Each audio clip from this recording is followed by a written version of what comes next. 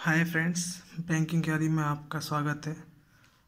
आज मैं आपके लिए क्वाड्रेटिक इक्वेशन लेके आया हूँ, जिसको हम इनइक्वलिटी बोलते हैं। मैथ्स का बहुत इंपॉर्टेंट टॉपिक है।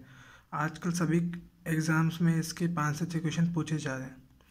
बिना टाइम वेस्ट किए शुरू करते हैं। क्वाड्रेटिक इक्वेशंस इसका जो बेसिक इक्वेशन होता है, वो होता है A x square plus B x plus C भी आ सकता है या माइनस भी आ सकता है या भी माइनस सकता है। ए को हम बोलते हैं coefficient of x square B को बोलते हैं कॉफिशेंट ऑफ़ एक्स और सी जो हम है हमारा यहाँ पे कांस्टेंट टर्म होती है।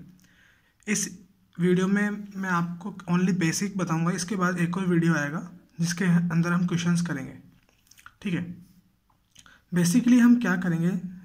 इसके लिए कुछ भी रूट निकालने के लिए क्या करेंगे हम? हमेशा ए और सी को हम क्या करेंगे? मल्टीप्लाई करेंगे। ठीक है? ए और सी को मल्टीप्लाई करेंगे, इसके बाद जो वैल्यू आएगी, उसको क्या करेंगे हम? फिर बी लेंगे हम, इसको ब्रेक करेंगे प्लस करके या फिर माइनस करके प्लस या माइनस करने पे इसको दो हम, दो दो दो में डिवाइड करेंगे। उसके बाद क्या होगा? प्लस या माइनस करने पे उसकी वैल्यू आनी चाहिए बी और उसकी जो, उनको जो हम मल्टीप्लाई करेंगे तो जो हमारा आंसर आना चाहिए, वो किस, किसके बराबर आना चाहिए, जो हमने ए और सी को मल्टीप्लाई करके बताया था। ठीक है? लगता है, उम्मीद है आपको पसंद आ रहा होगा। ठीक है, उसके बाद क्या है? कंडीशंस फॉर रूट जब क्या होगा, जो कांस्टेंट टर्म है हमारी, जो सी है हमारा कांस्टेंट टर्म उसके जो आगे जो साइन लगा है, अगर वो पॉजिटिव है तो हमेशा क्या होगा? रूट जो होंगे एडिशन करके होंगे। यहाँ से हम ए और सी की वैल्यू निकालेंगे, ठीक है? उसके बाद हम बी को, मैंने आपको बताया ब्रेक करेंगे हम। ब्रेक करके जो रूट निकालेंगे, जब अगर सी की जो कॉफिशेंट है हमारा, उसका साइन पॉजिटिव होगा तो जो बी को हम ब्रेक करेंगे तो एडिशन करके हम ब्रेक करेंगे। समझ रहे हैं फ्रेंड्स ठीक है, तब रूट्स निकलेंगे तो एडिशन करके उसके रूट्स निकाले जाएँगे। अगर कांस्टेंट टर्म हमारी नेगेटिव है तो उसके जो रूट निकालेंगे, हम डायरेक्ट सब्ट्रैक्ट करके नोट निकालेंगे। ठीक है? आप ऐसे समझ सकते हैं प्लस हुआ तो एडिशन माइनस हुआ तो सब्ट्रैक्ट ठीक है? Condition of always greater than हमारे, जब पाँच से छः क्वेश्चन पूछे जाते हैं, उसमें से एक आध या एक से दो क्वेश्चन ज़रूर, ऐसे ज़रूर होते हैं, जिसके अंदर ये कंडीशन आती है और हमको आँख बंद करके बस सीधा टिक करना होता है। हमारा बस मुश्किल से दो सेकंड लगता है। इस बात की मैं गारंटी आपको देता हूँ कि यदि आप मेरे से अच्छे से क्वाड्रेटिक क्वेश्चन पढ़ लिए तो आप दो मिनट के अंदर पाँच से छः क्वेश्चन जितना भी आएगा, वो कर पाएँगे। Condition of always greater than अगर स्टेटमेंट वन हमारा दिखा जाए x square minus B x plus C is equal to zero है, और सेकेंड इक्वेशन अगर हमारी दी रखी है P y square plus Q y plus R is equal to zero अगर ऐसा भी आपको कहीं भी दिख जाए एग्ज़ाम में दो स्टेटमेंट इस तरह से दिख जाए तो हमेशा जो फ़र्स्ट स्टेटमेंट है, उसकी वैल्यू उसके जो रूट्स की वैल्यू है, वो हमेशा बड़ी होगी सेकेंड स्टेटमेंट वाले से। Conditions of always C N D if in both statements sign of constant terms is negative जो जैसे जो इस कांस्टेंट टर्म है, इसकी वैल्यू इसमें अगर जो इसका कॉफिशियंट है, उसका आगे जो साइन है, वो अगर नेगेटिव होगा तो हमेशा जो आंसर होगा वो सी एन डी होगा। हमेशा। कोई सा भी क्वेश्चन लेके देख लीजिए आप तो उसका हमेशा आंसर सी एन डी होगा। उम्मीद है आपको पसंद आया होगा।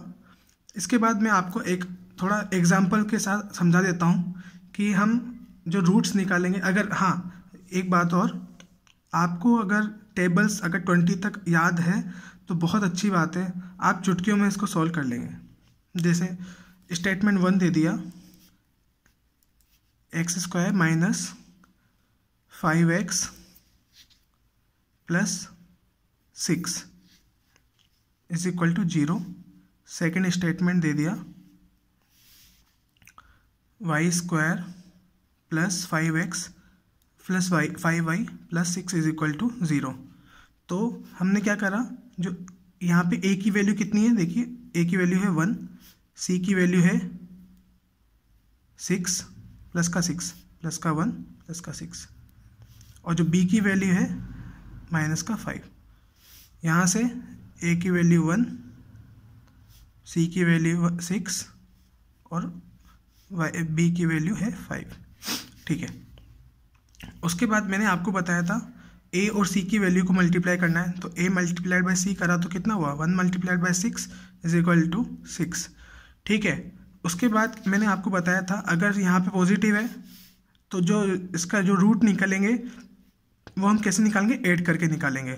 तो फाइव को हमको इस तरह से ब्रेक करना है कि प्लस करने पे फाइव आ जाए। इसको तोड़ना है ब्रेक करना है दो पार्ट में। प्लस करने पे फाइव आना चाहिए और मल्टीप्लाई करने पे सिक्स आना चाहिए। आपको पता है, इतनी, इतना तो सभी जानते हैं टू थ्री या सिक्स होता है।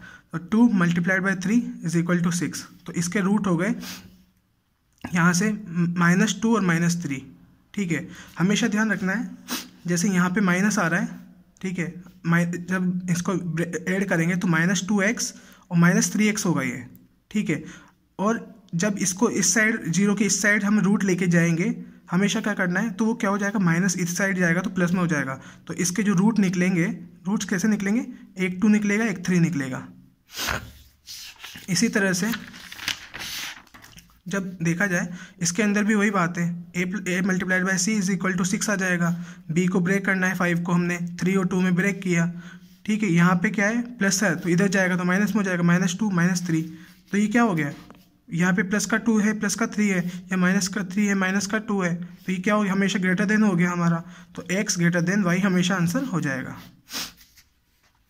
ठीक है? उसके बाद ऐसे ही मैं आपको एक सी एन डी वाला भी कंडीशन बता ही देता हूँ। लगे हाथ।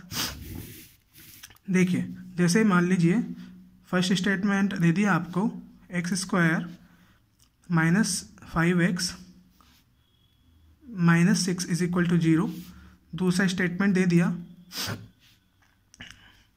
y square